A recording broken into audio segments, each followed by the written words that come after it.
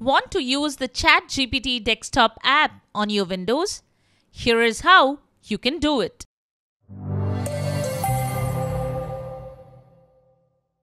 This is the Windows Club.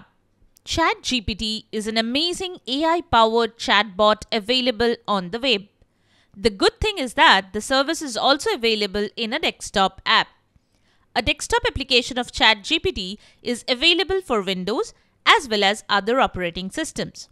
Although the official desktop app by OpenAI is not yet available, you can use the website wrapper of ChatGPT by a front end developer.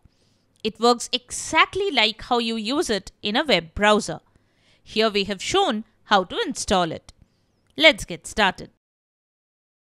The ChatGPT desktop application is available on GitHub to download. It is an open source application. Thus, you can also download, study and manipulate its source code. Visit github.com slash lencx slash chatgpt. Navigate to the releases section and download the latest version of ChatGPT for Windows. After downloading the main executable, double-click on it and install the application on your computer.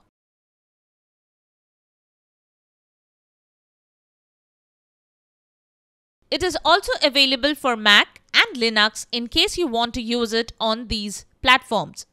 Once ChatGPT is installed on your computer, you can launch it and start using its features.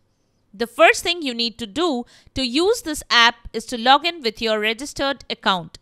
If you don't have a registered account, you can sign up with an email account and then log in to ChatGPT. It also allows you to log in with your Google and Microsoft account. When you are logged in, you can start a conversation with ChatGPT and it will reply with relevant information. So that's it.